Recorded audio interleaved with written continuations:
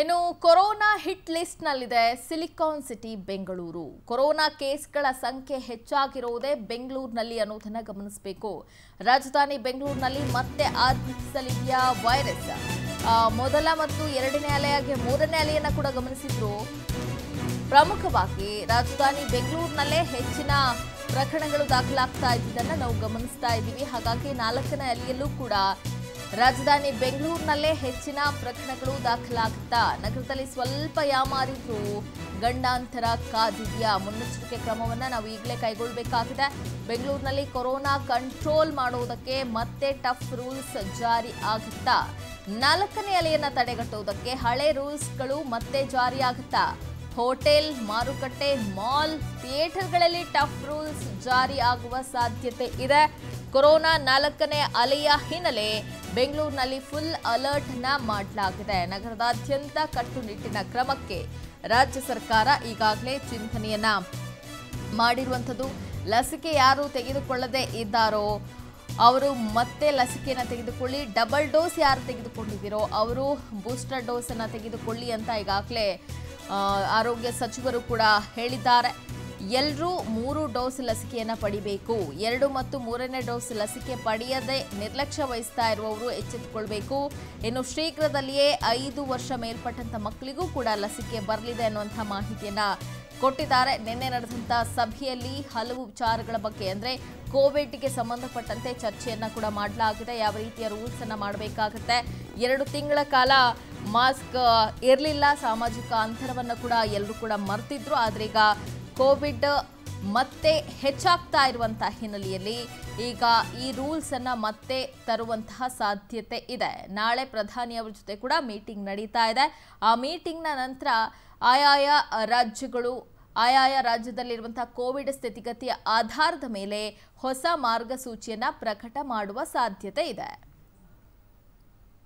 ಇನ್ನು ಬಗ್ಗೆ ಮತ್ತಷ್ಟು ಡೀಟೇಲ್ಸ್ ಕೊಡ್ತಾರೆ ನಮ್ಮ ಪ್ರತಿನಿಧಿ. ಸ್ವಾತಿ ನೇರವಾಗಿ ಜಾಯ್ನ್ ಆಗ್ತಾ ಇದ್ದಾರೆ. ಸ್ವಾತಿ, ಗಮನಿಸಬಹುದು ತಜ್ಞರು ಕೂಡ ಒಂದು ಸಲಹೆಯನ್ನ ಕೊಟ್ಟಿದ್ರು. ಜೂನ್ ಮೊದಲ ವಾರದಲ್ಲಿ ಅಥವಾ ಜೂನ್ ಎಂಡ್ನಲ್ಲಿ ನಾಲ್ಕನೇ ಅಲೆ ಬರಬಹುದು ಅಂತ. ಆದರೆ ಈಗಲೇ ಎಂಟ್ರಿ ಕೊಡೋ ತರ ಲಕ್ಷಣ ಕಾಣಿಸ್ತಾ ಇದೆ. ಸರ್ಕಾರ ಕೂಡ ಈಗಲೇ ಎಚ್ಚೆತ್ತುಕೊಂಡಿದೆ.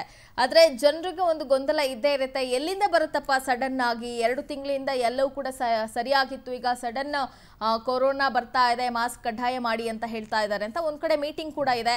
ಯಾವೆಲ್ಲ ಮಾರ್ಗಸೂಚಿಗಳನ್ನ ಪ್ರಕಟ ಮಾಡುವ ಸಾಧ್ಯತೆ ಇದೆ? ಪ್ರಮುಖವಾಗಿ ಬೆಂಗಳೂರಿನಲ್ಲಿ ಈಗಿನ ಪಾಸಿಟಿವ್ ರೇಟ್ ಎಷ್ಟಿದೆ ಅಂತ ಹೇಳ್ಬೋದಾ, ಸ್ವಾತಿ? ಲೀಲಶ್ರೀ, ಈಗ ತಜ್ಞರು ಹೇಳುವಂತಹ ಪ್ರಕಾರ ಮುಂದಿನ ಮೂರರಿಂದ ನಾಲ್ಕು ವಾರಗಳಲ್ಲಿ ನಾಲ್ಕನೇ ಅಲೆ ಬರುವಂತಹ ಸಾಧ್ಯತೆ ಇದೆ. ಸೊ ಹೀಗಾಗಿ ಮೊದಲ ಅಲೆಯಲ್ಲಿ ಆಗಿರುವಂತಹ ತಪ್ಪುಗಳು ಮತ್ತೆ ಮರುಕಳಿಸಬಾರ್ದು ಅಂತ ಹೇಳಿ ಸರ್ಕಾರ ಕ್ರಮಗಳನ್ನು ತೆಗೆದುಕೊಳ್ತಾ ಇದೆ. ಮತ್ತೊಂದು ಕಡೆ ತಜ್ಞರು ಕೂಡ ತುಂಬ ಕ್ಲಿಯರ್ ಆಗಿ ಹೇಳಿದ್ದಾರೆ. ಸೊ ಮೊದಲ ಅಲೆಯಲ್ಲಿ ಇರುವಷ್ಟು ಸಾವು ನೋವು ನಾಲ್ಕನೇ ಅಲೆಯಲ್ಲಿ ಇರಲ್ಲ. ಮೂರನೇ ಅಲೆ ಯಾವ ರೀತಿಯಾಗಿ ಜನರಿಗೆ ಸ್ಪ್ರೆಡ್ ಆಗುವಂತಹ ಲೆವೆಲ್ ಜಾಸ್ತಿ ಇರುತ್ತೆ. ಆದರೆ ಸಾವು ನೋವುಗಳ ಸಂಖ್ಯೆ ಕಡಿಮೆನೇ ಇರುತ್ತೆ ಈ ಬಾರಿ ಕೂಡ. ಆದರೆ ಬೂಸ್ಟರ್ ಡೋಸನ್ನು ತೆಗೆದುಕೊಳ್ಬೇಕು ಅಂತ ಹೇಳಿ ಸರ್ಕಾರ ಹೇಳ್ತಾ ಇದೆ. ಸೊ ಯಾರು ಸೆಕೆಂಡ್ ಡೋಸ್ ತೆಗೆದುಕೊಂಡು ತೊಂಬತ್ತು ದಿನಗಳು ಮುಗಿದಿದೆ ಸೊ ಅವರು ಬೂಸ್ಟರ್ ಡೋಸನ್ನು ತೆಗೆದುಕೊಳ್ಬೇಕಾಗತ್ತೆ. ಸೊ ಇದಕ್ಕೆ ಸಂಬಂಧಪಟ್ಟಂತೆ ನಾಳೆ ಮೋದಿ ನೇತೃತ್ವದಲ್ಲೂ ಕೂಡ ಸಭೆ ನಡೆಯುತ್ತೆ. ಈ ಒಂದು ಸಭೆಯಲ್ಲೂ ಕೂಡ ಬಹುತೇಕವಾಗಿ ಬೂಸ್ಟರ್ ಡೋಸ್ ಬಗ್ಗೆನೇ ಹೆಚ್ಚು ಚರ್ಚೆ ಆಗುತ್ತೆ. ಸದ್ಯ ನಮ್ಮ ರಾಜ್ಯದಲ್ಲಿ ತೆಗೆದುಕೊಂಡ್ರೆ ಪ್ರತಿನಿತ್ಯ ಅರವತ್ತು ಕೇಸ್ಗಳು ಆಗ್ತಾ ಇದೆ. ಅಂದರೆ ಈ ಕೇಸ್ಗಳ ಸಂಖ್ಯೆ ಕಳೆದ ಒಂದು ಹತ್ತು ದಿನಗಳ ಹಿಂದೆ ಕೇವಲ ಮೂವತ್ತು, ಇಪ್ಪತ್ತು ಈ ರೀತಿಯಾಗಿತ್ತು. ಆದರೆ ಪಾಸಿಟಿವ್ ರೇಟ್ ಕಳೆದ ಐದು ದಿನಗಳಿಂದ ನಿರಂತರವಾಗಿ ಏರಿಕೆ ಆಗ್ತಾ ಇದೆ. ಅಂದರೆ ಪ್ರತಿ ನೂರು ಜನರಿಗೆ ಚೆಕ್ ಮಾಡಿದಾಗ ಒಬ್ಬರಿಗೆ ಪಾಸಿಟಿವ್ ಪ್ರಕರಣಗಳು ಕಾಣಿಸ್ತಾ ಇದೆ. ಸೊ ಹೀಗಾಗಿ ಎಲ್ಲೋ ಒಂದು ಕಡೆ ಮತ್ತೆ ಈ ಒಂದು ಫೋರ್ತ್ ವೇವ್ಗೆ ಬಿ ಟೂನ ಒಂದು ಉಪತಳಿಗಳು ಕಾರಣ ಆಗಬಹುದು ಅಂತ ಹೇಳಿ ನಿರೀಕ್ಷೆ ಮಾಡಲಾಗಿದೆ. ಈಗಾಗಲೇ ನಮ್ಮ ರಾಜ್ಯದಲ್ಲಿ ಈ ಬಿ ಟೂ ಹೊಸ ತಳಿ ಏನಾದರೂ ಪತ್ತೆ ಆಗಿದೆಯಾ ಇಲ್ವಾ ಅಂತ ಹೇಳಿ ಒಂದಷ್ಟು ಸ್ಯಾಂಪಲ್ಗಳನ್ನು ಜಿನೋಮಿಕ್ ಸೀಕ್ವೆನ್ಸ್ ಲ್ಯಾಬ್ಗೆ ಕಳಿಸಲಾಗಿದೆ. ಈಗಾಗಲೇ ಬಿ ಟೂ ವೇರಿಯಂಟ್ ದೆಹಲಿ ಮತ್ತು ಮುಂಬೈನಲ್ಲಿ ಕಾಣಿಸ್ಕೊಂಡಿದೆ.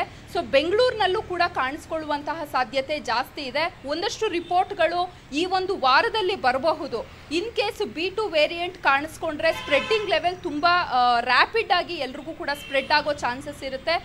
ಈ ವೇಳೆ ಹೃದಯ ಸಂಬಂಧಿ ಕಾಯಿಲೆ ಇರುವಂಥವ್ರು, ಉಸಿರಾಟದ ಸಮಸ್ಯೆ, ಕ್ಯಾನ್ಸರ್ ಸಮಸ್ಯೆ, ಅಸ್ತಮ, ಸೊ ಹೀಗೆ ಬೇರೆ ಸಮಸ್ಯೆಗಳು ಇರುವಂಥವ್ರು ತುಂಬ ಜಾಗೃತಿಯಿಂದ ಇರಬೇಕು. ಇನ್ನು ಉಳಿದಂಥವರು ಅಂದರೆ ಮಾಸ್ಕನ್ನು ಧರಿಸಿ ಸರ್ಕಾರ ಕೊಟ್ಟಿರುವಂಥ ಗೈಡ್ಲೈನ್ಸನ್ನು ಪಾಲನೆ ಮಾಡಿದ್ರು. ಈ ಕೊರೋನಾದಿಂದ ಗೆಲ್ಲಬಹುದು ಅಂತ ಹೇಳಿ ತಜ್ಞರು ಹೇಳ್ತಾ ಇದ್ದಾರೆ ಲೀಲಾಶ್ರೀ. Thank you Swati.